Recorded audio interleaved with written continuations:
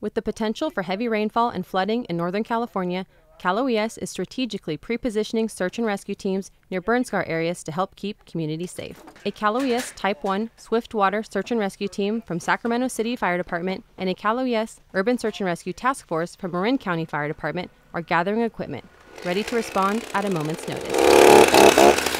And our department was given multiple boats, uh, inflatable boats that we can use in different situations. We've got motors to go along with the boats and all the equipment that personnel will need dry suits, life jackets, things like that. And then a ton of rescue equipment um, just to make our team whole so that we can uh, enact any kind of rescue that needs to be done.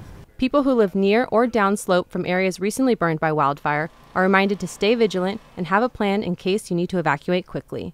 To see more from us, visit our website news.caloes.ca.gov and follow us on all of our social media platforms.